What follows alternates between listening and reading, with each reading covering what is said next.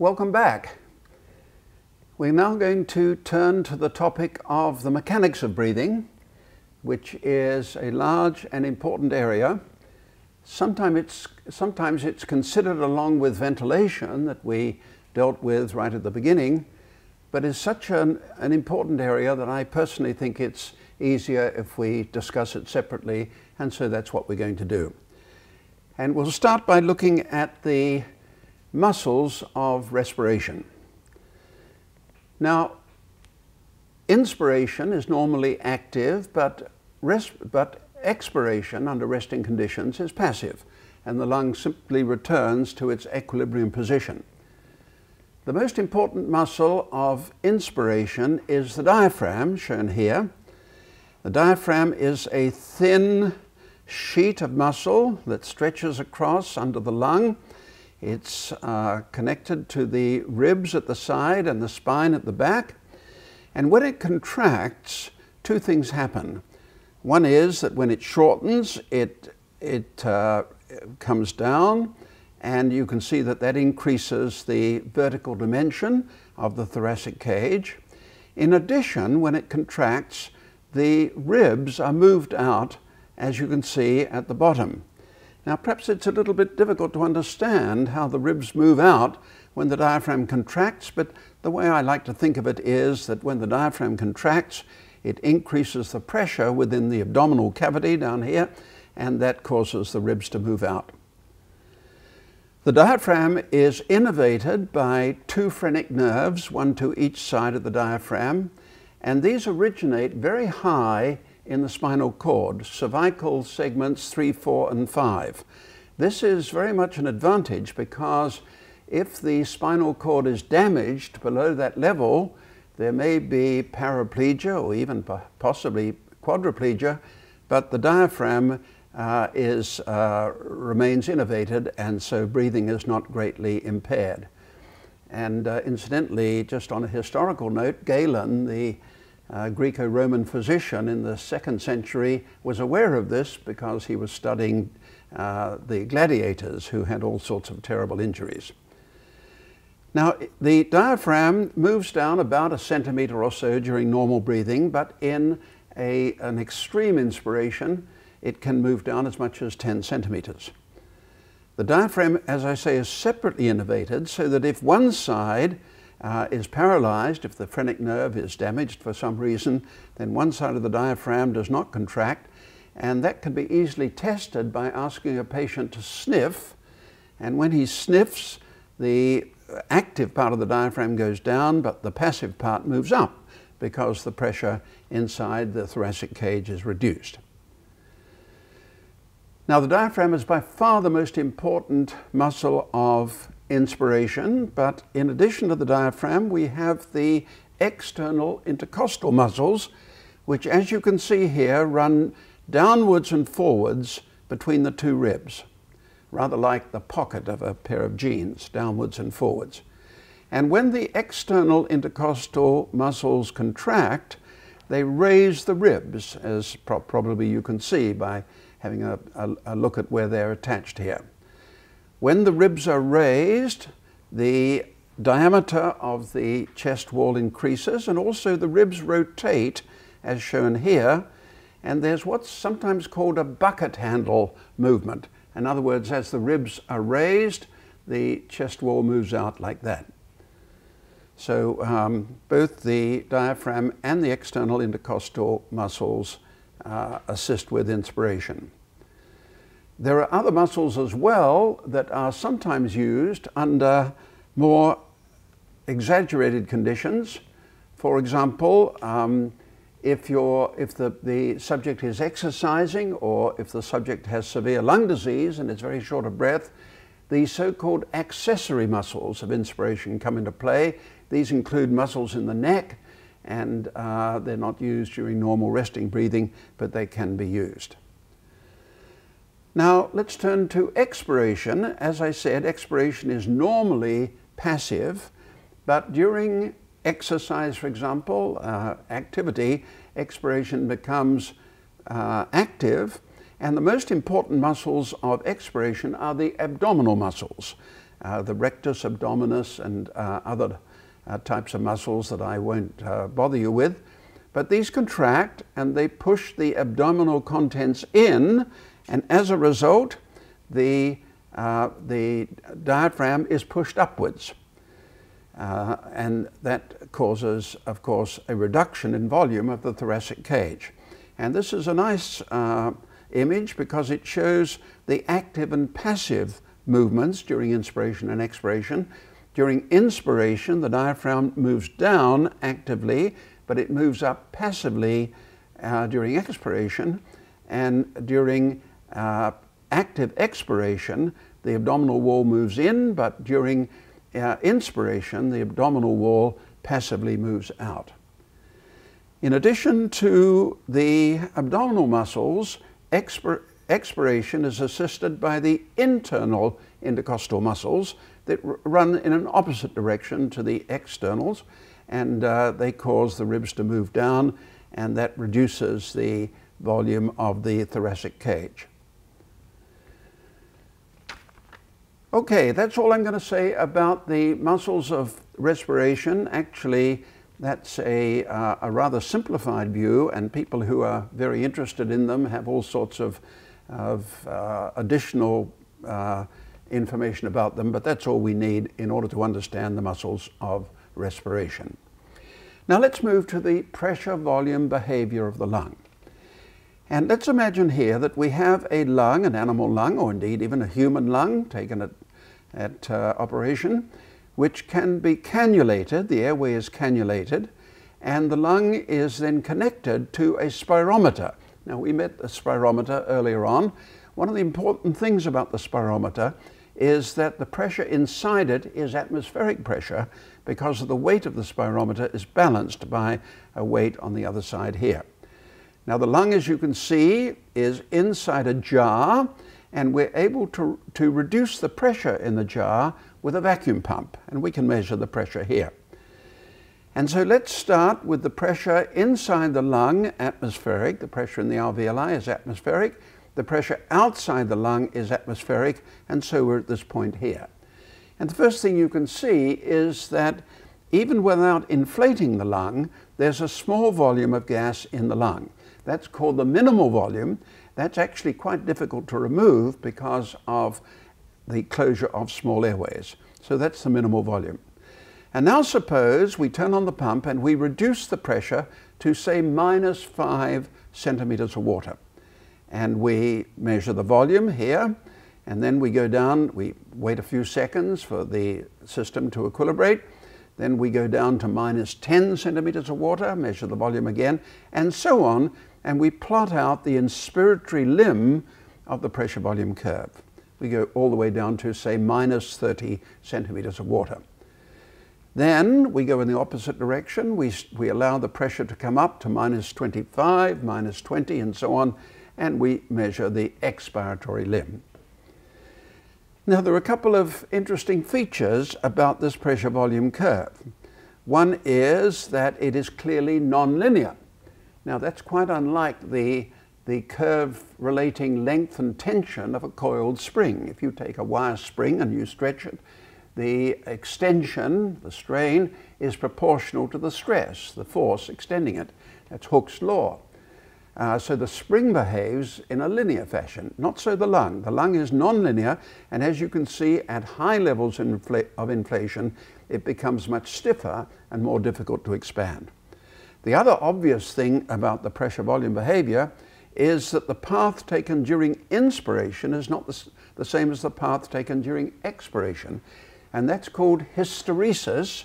That's a Greek term meaning that the behavior lags behind the, during expiration, it lags behind the behavior during inspiration. Let's be clear about what we mean by these negative pressures. Sometimes people are confused by this. Minus 10 centimeters of water simply means 10 centimeters of water less than atmospheric pressure. We're relating these pressures to atmospheric pressure. And that's something that's convenient and very frequently done. For example, if you go to a doctor's office and you ask him to measure your, blood pressure, he says the, it's 100 millimeters of mercury, for example. He means 100 above atmospheric pressure.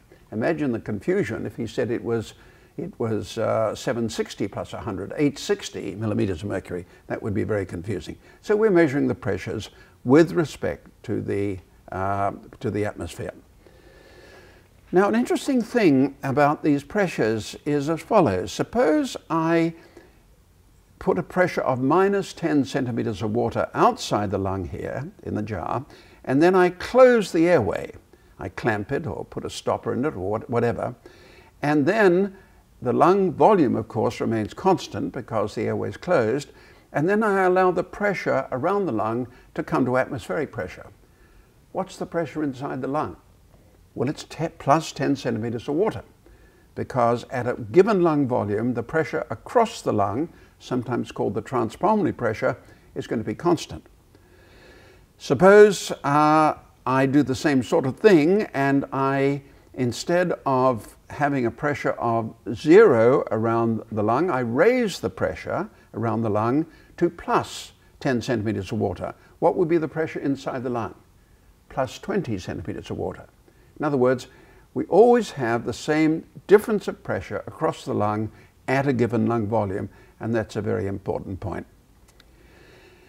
We could measure this pressure volume curve using positive pressure uh, inflation. Uh, here we wouldn't need the pump, we'd simply raise the pressure here. We could have a pump that increases the pressure. Uh, we take away the spirometer, we raise the pressure uh, in the lung, through a series of plus 10, plus 20, plus 30 centimeters of water. We'd measure the change in volume. We would get exactly the same pressure volume curve. So it doesn't matter whether you inflate the lung with negative pressure or positive pressure, you get the same behavior. Okay, now sometimes we want to measure the pressure volume behavior of the lung in a patient. How can we do that? Well, normally what we do is we measure the pressure not in the intrapleural space around the lung, it's too difficult to do and too dangerous. We measure the pressure in the esophagus, which after all is around the lung, it's in the mediastinum around the lung. We place a small tube, a small balloon in the esophagus, and we measure the pressure. And we normally look at the deflation limb of the pressure volume curve just because that's more repeatable. So over what volume would we measure the pressure volume behavior? Well, why don't we measure it over the, the normal uh, useful volume of the lung, the, the, volume that we, we use during normal breathing. So we start at FRC, measure the pressure here, that's about minus five centimeters of water usually. And then in this particular illustration, we go up uh, one liter above uh, FRC and we measure the, uh, the volume. So, so and, and, and we measure the pressure here. So in this particular example, the pressure change is 5 centimeters of water from minus 5 to minus 10 for an increase in volume of 1,000 mils. And now we can calculate what's called the compliance. The compliance of the lung is the change in volume per unit change in pressure. And some of you have probably met that term before. Uh, we could talk about the compliance of uh, elastic material is sometimes talked about. So compliance here is change in volume divided by change in pressure. The volume change per unit change in pressure. And in this particular example, it's about 200 mils per centimeter of water, which is about the normal compliance of the lung. And by the lung, I mean both, both uh, sides of the lung together. So that's the compliance. Now the compliance alters uh, in disease. For example, if you have a patient with pulmonary fibrosis, where the lung is, uh, where, where, you have a lot of fibrous tissue laid down in the lung, the lung becomes stiffer and therefore the compliance is reduced. The volume change per unit change is reduced. Same thing happens when you get edema in the lung because some of the alveoli are not able to expand. Um, and uh, uh, so those are examples of a reduction of compliance. Compliance is increased in emphysema because the, the architecture of the lung is destroyed and the lung is, is not able to have the same recoil pressure that it normally does because the architecture is destroyed and the compliance is increased. Compliance also tends to increase somewhat with age. Sometimes we want to measure the compliance of different sized lungs. Now this is mainly in comparative physiology where we're looking at say a mouse lung and a human lung. Uh, of course we wouldn't expect a mouse lung and a human lung to expand by the same volume for the same change in pressure. And in that case, we sometimes measure what's called the specific compliance. That's the compliance divided by the lung volume. Now, what's responsible for this pressure, behavior, pressure volume behavior of the lung? Well, there are two factors. The first is the, the tissue in the lung uh, that we can see with a microscope, and, and that is to some extent responsible for the elastic properties. And for example, there is collagen. It's a molecule, collagen in the lung, and here we have a, an electron micrograph of a pulmonary capillary, and you can see the collagen fibers over here. Uh, and there's collagen throughout the lung, actually, and that's one of the proteins that are responsible for the pressure volume behavior. Another protein is elastin, and here are fibers of elastin uh, stained uh, uh, throughout the lung. And um, the, these fibers also contribute to the el elastic properties. However, the elastic behavior of the lung is, we believe, not caused simply by extension of these fibers. It's more caused by the change in geometry of the fibers. And an example is what's called nylon stocking elasticity. Believe it or not, that's a term used by by engineers who are interested in elastic behavior. The point about nylon stocking elasticity is that if you take a nylon stocking, it's beautifully distensible. It's very easy, very quotes elastic, very easily expanded, okay? But if you take the individual uh, fibers of nylon and try to stretch them, uh, you'll break your finger before you can stretch them. They're very stiff. And so why is the nylon stocking so beautifully elastic because of the change in geometry of this knitted construction as you alter it. You distort the geometry and the same thing probably occurs in the lung. But there's another factor responsible for the elastic behavior of lung. It's very important and we're going to talk about it now and that is the surface tension of the alveolar lining fluid. Now surface tension is a topic that some people are not familiar with, and so I'm going to go through some of the features of it here. And first of all, we've got a, a trough of a liquid, water if you, if you like, and let's think about the surface of this trough of liquid. The surface, the molecules of the water attract each other much more than they attract the air above them. And the result is that you've got forces in the surface itself. And as a matter of fact, surface tension is defined as the total force across an imaginary line one centimeter long in the surface. And one way of thinking of surface tension, which I think is useful, is that it's like a piece of very thin rubber sheet which is in the surface, okay?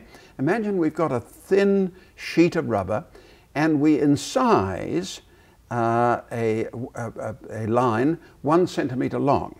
Now, of course, the rubber will gape, and then we can put sutures in that uh, to bring those two uh, sides together, and the total force across the sutures is equal to the surface tension. And the, the units are dynes or uh, per centimeter or millinewtons per meter, if you like, uh, but that's the, it's force per, per unit length is surface tension. Now, an important feature of surface tension is that in a curved surface, it develops a pressure. And again, the easiest way to think about that is to think of the surface of a soap bubble, for example, being like a child's balloon, okay? An elastic material. And as a result, you've got tension in the wall of the balloon, and that tension develops a force which raises the pressure in the bubble. Of course, we're all familiar with that. When we blow up a child's balloon, we have to generate a pressure within it to inflate it.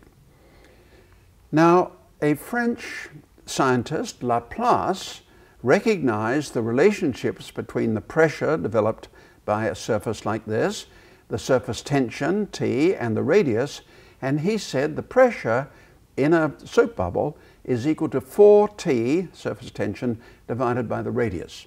The 4, don't worry too much about the 4, it partly comes because we've got two surfaces and because we've got spheres. So that's the Laplace relationship, very important relationship. And one of the things you can see from this is that if you have two bubbles with the same surface tension, and that's simply caused by the, uh, the tension is, is, has to do with the amount of soap or detergent in the water, uh, the, the tension is, is constant, but if one bubble has a smaller radius than the other, it's going to have a higher pressure. So that means that a small bubble will blow up a large bubble. So this is surface tension, a very important feature uh, in the lung. Now, you may say, why is the lung not unstable if surface tension is such an important effect? There are 500 million alveoli in the lung, approximately. They can't possibly all be the same size, so why don't the small alveoli blow up the large alveoli? And this brings us to a very interesting chapter in respiratory mechanics, and that is the discovery, the modern discovery of surfactant. And it goes back to about the 1920s when a Swiss physiologist looked at the inflation of the lung when he inflated the lung both with air and with a liquid. And what he found that was that it was much easier to inflate the lung with a liquid than with air. And here's a modern demonstration of his experiment. Here the lung is inflated with saline here and with air here. And you can see some striking differences between the two pressure volume curves. You notice that in the saline inflation, the lung is much more compliant. For a given pressure change, for a given pressure, the volume of the lung is much greater. So the compliance is greatly increased with saline inflation. And you'll also notice, by the way, that whereas air inflation causes a very large hysteresis, the saline inflation apparently does not. So when uh, the Swiss physiologist von Neergaard saw this way back in the 1920s, he said, well, the only difference between inflating the lung with a liquid and with air is that I'm abolishing the surface tension in the, in the liquid inflated lung. So surface tension must be imported in the lung. Unfortunately, at that time, he was unable to measure surface tension. He just didn't have the techniques available. And so uh, the work he did was completely forgotten and uh, uh, it was uh, discovered much later on, but completely forgotten, had no effect on the progress of science. Until the 1950s, when a physical chemist working in England was looking at edema foam coming out of animals that had been exposed to toxic gases. And he noticed that the bubbles of the foam were extremely stable. Now, being a good physical chemist, he immediately recognized that this meant that the surface tension was very low. Because if there's any appreciable surface tension in bubbles, it causes a pressure to contract the bubble, the gas diffuses out through it, and the bubble collapses. So looking at these stable bubbles, he realized that uh, there was something special about the lung. And that was the beginning of the modern discovery of so-called surfactant. Surfactant is a material that reduces the surface tension of the alveolar lining layer. And we can measure the properties of surfactant using what's called a surface balance. Now here's a surface balance here. We have a trough of liquid and on the surface we can put any material we like. We can move the barrier here, we can compress and expand the surface, and we measure the surface tension with a platinum strip. The details we don't need to worry about. But look what happens if we do this, um, make these measurements, first with water in the trough. So we change the area of the, the, of the surface with this movable barrier, and we find the surface tension doesn't change. It's about 72 dynes per centimeter uh, and it doesn't change. If we add detergent to the water, we reduce the surface tension, and that's the reason why detergents are useful in washing. They reduce the surface tension.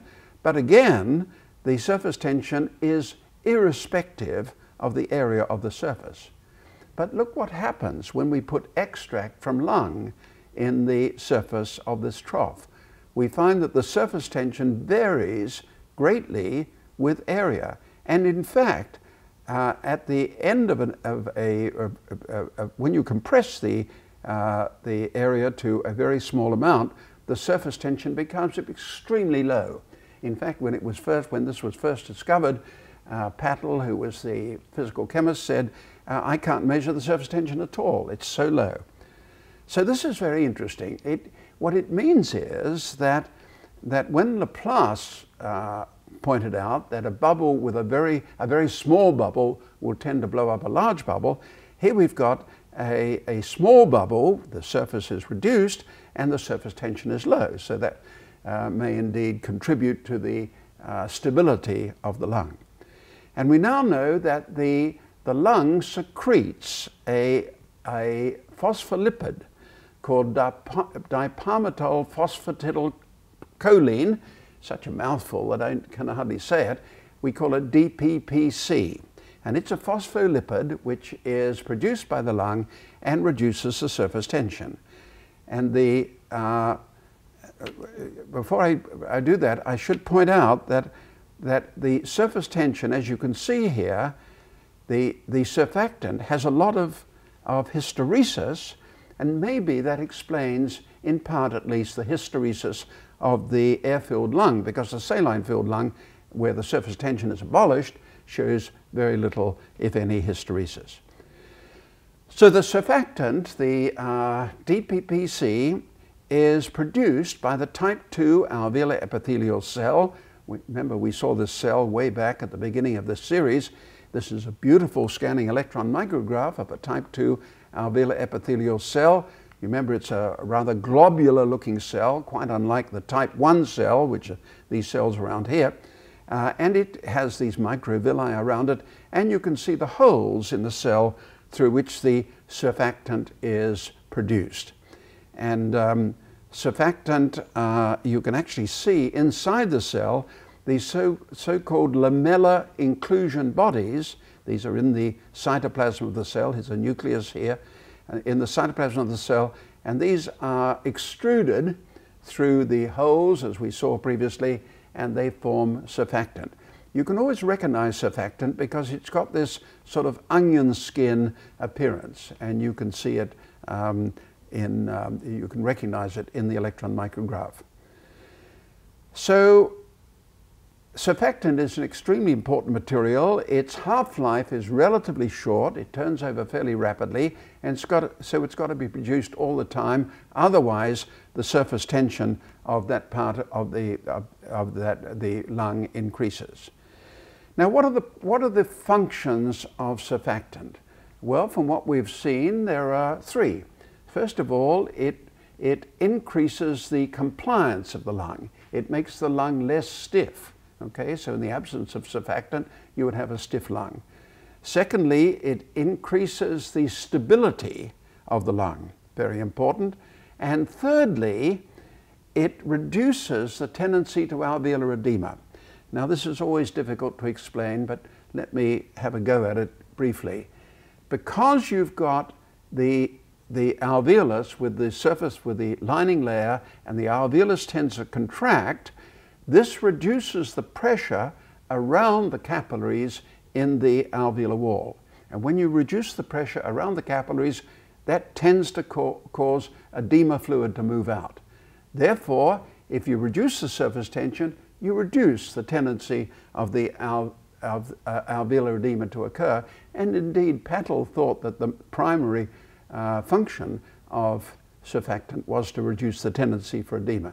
We don't normally emphasize that quite so much now. We think the most important feature of surfactant is to reduce the, uh, is to increase the stability of the lung. So what would you expect in a lung with the absence of surfactant? Well, it turns out that surfactant is produced relatively late in fetal life. And some babies, particularly premature born babies, are born with the absence of surfactant. And here's an example here from one of these babies. And you can see perhaps, uh, perhaps a little difficult if you're not used to looking at these things, but what we've got here is collapsed lung. This is lung, this is very unstable lung, which has collapsed in some areas. You can see various uh, areas where, where, it's open, most of it is collapsed. The lung was also stiff, difficult to expand, and it had alveolar edema. You can see the edema fluid here. So surfactant is essential for uh, the, the healthy lung, and one of the great advances in this area over the last 20 or 30 years, and I can remember the advances vividly, is the recognition of surfactant, its, its uh, composition, and the fact that now it's possible to produce surfactant from animals or make it and administer it to these babies who are born without surfactant, called the infant uh, respiratory distress syndrome, and these babies can often be saved now, and a very important advance. Okay, so we've been talking about the pressure volume behavior of the whole lung. I'm now going to look at the regional pressure volume behavior because this is important in determining the distribution of ventilation in the lung. And so what we've got here is a, a diagram showing the lung here, the upright lung here, and the pressure volume curve. Now, it turns out that the intrapleural pressure is not the same throughout the lung. Why not? Because the lung has weight. And whenever you have a, a, a, body with weight being supported, the pressure below it has to be higher than the pressure above it. If I put a book on a table, the pressure below it is higher than the book above it to balance the downward acting weight forces. So the lung is no exception. The lung is supported by the chest wall and, the, and diaphragm, and therefore the intrapleural pressure is larger, higher at the bottom of the lung than the top. And since it's negative, higher means that it's less negative at the bottom than at the top. Now you can see that this influences the pressure volume behavior. For example, at the base of the lung, the alveoli are going to be exposed to a relatively small expanding pressure, only 2.5 centimeters of water, we can expect the alveoli to be small and that with a, with a given change in intrapleural pressure, a relatively large increase in volume because we're on a steep part of the pressure volume curve.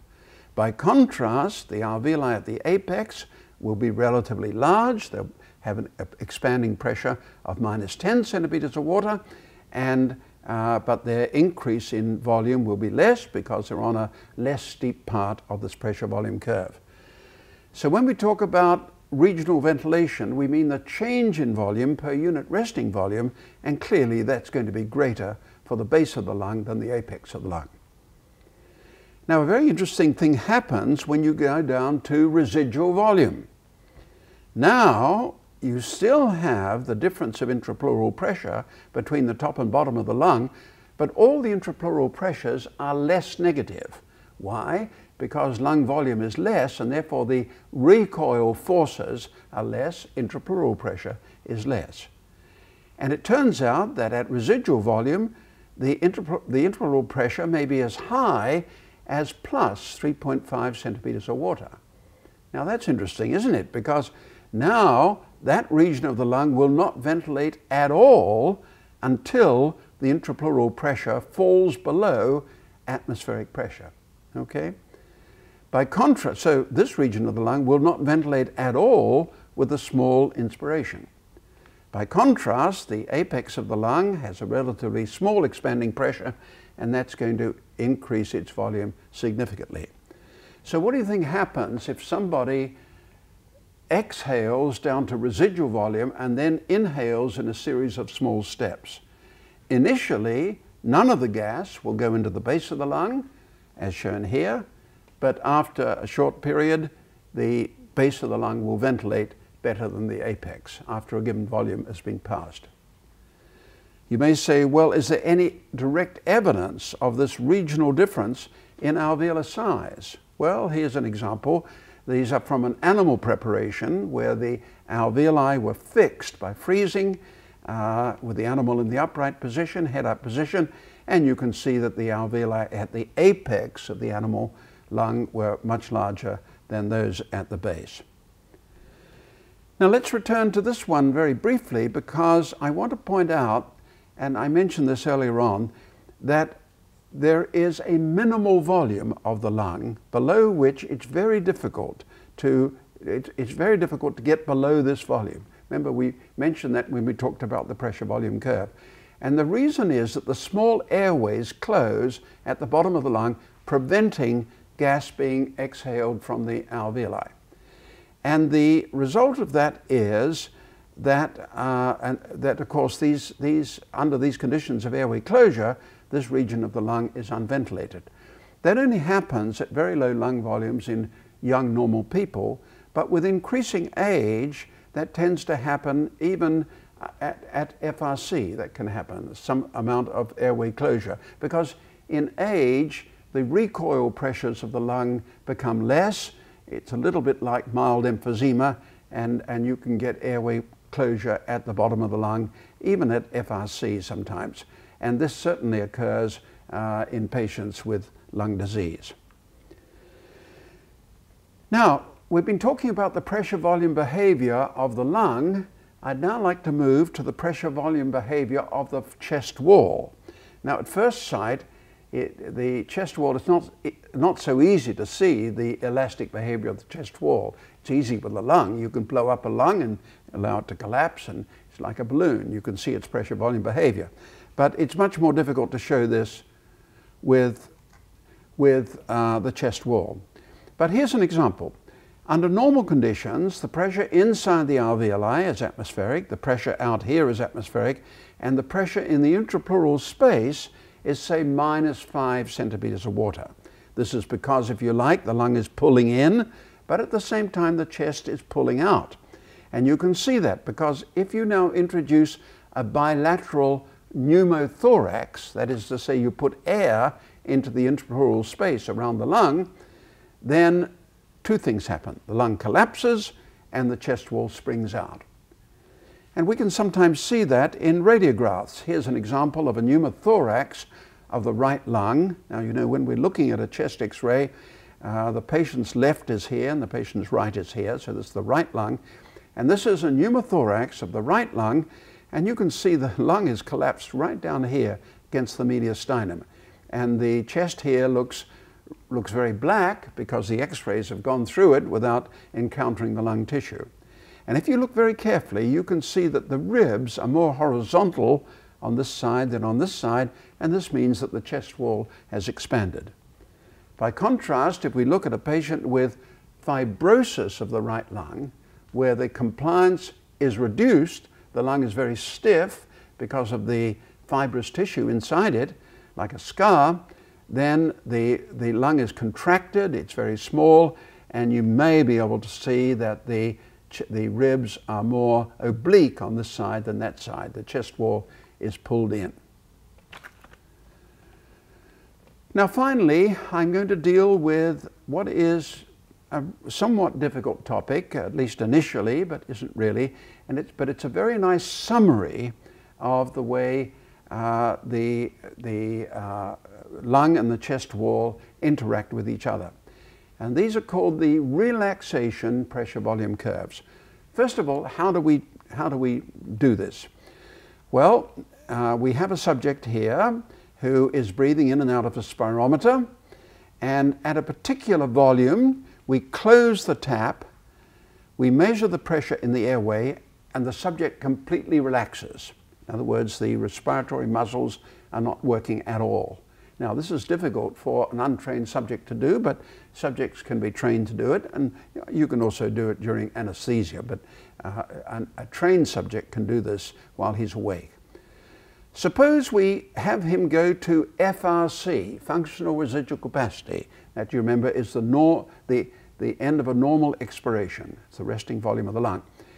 Suppose he goes to FRC, we close the tap, and we measure the pressure in the airway what do you think the airway pressure will be? The answer is it'll be atmospheric pressure because FRC is the equilibrium volume of the lung and chest wall. They're in equilibrium and therefore uh, there is no tendency of the lung and chest wall to either spring out or to pull in. But if we, and so this is the curve. This curve here is for the lung and chest wall. And you can see at uh, FRC, the resting respiratory level here, FRC, you can see that the relaxation pressure curve, the relaxation pressure, is uh, zero centimeters of water. Now, if we close the tap above FRC, then the system tends to move, wants to move down, quotes, wants to move down to the FRC volume. And so the pressure is going to be positive. If we close the tap up here, the pressure, the relaxation pressure is going to be positive. By the same token, if we go below FRC and we close the tap, we have the subject relax, then we develop a negative pressure because now the lung and chest wall are trying to expand to the equilibrium position, which is FRC. Okay? Now, so that's the lung plus chest wall. Now let's look at the lung. Well, the relaxation pressure volume curve of the lung is exactly the same as the curve that we measured a long time ago here, except that we're measuring with positive pressure. It's the same curve, but if we inflate this lung with positive pressure, we would get the relaxation pressure, uh, pressure volume curve of the lung itself. In other words, if we, if we uh, inflated the lung with positive pressure and we measured the pressure in it at a given volume, that would give us the relaxation pressure. So that part is quite easy to understand too. And notice we go down to minimal volume, that's the lowest volume of the lung. Now the only one that's going to be a little confusing perhaps is the relaxation pressure volume curve of the chest wall. We can imagine that being measured in someone without a lung, only with a chest wall. And the point about the chest wall is that at FRC, the relaxation pressure is minus 5 centimeters of water. And I should have pointed out that the lung itself at FRC has a relaxation pressure of about plus five centimeters of water, okay? But that's balanced by the relaxation pressure of the chest wall, which is minus five. In fact, at every point here, the lung plus chest wall pressure is determined by the difference between those two pressures. Here you can see at FRC you've got plus 5 here, minus 5 here. Here at uh, what 75% of the uh, of uh, vital capacity. You've got the chest wall has a uh, the lung has a relaxation pressure of say plus 10 or something like that, and the chest wall has got zero, and the lung and chest wall are the same. So this this is encapsulates a lot of information, and initially it's uh, rather daunting, but uh, if you work through it, it's, it's a very nice way of seeing how the, the lung and the chest wall interact. So let me now just summarize uh, some of the main points we've made. Respiration, uh, in, in respiration, inspiration is normally active, but expiration is passive, and you go down to the resting volume of the lung, which is the functional residual capacity. The most important muscle of inspiration is the diaphragm. In fact, if the intercostal muscles are not working, uh, the diaphragm still is able to do a pretty good job in ventilating the lung. Uh, in inspiration, the most important intercostal muscle is the external intercostal muscles, and at high levels of ventilation, you use the accessory muscles as well during, during uh, uh heavy exercise, for example. The most important muscle of expiration are the abdominal muscles, uh, but they are assisted by the internal intercostal muscles. We then looked at the pressure volume curve of the lung and saw that uh, it's easy to measure and two features of it are that it's nonlinear and also that there's a good deal of hysteresis.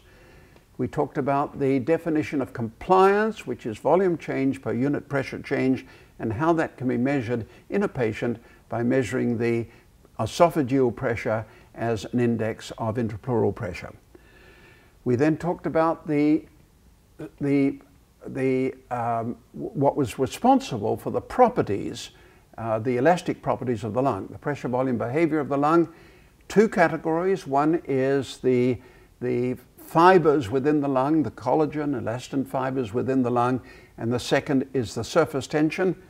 And we pointed out how important surface tension is, that it, it explains the difference in pressure volume behavior of saline filled and air filled lung.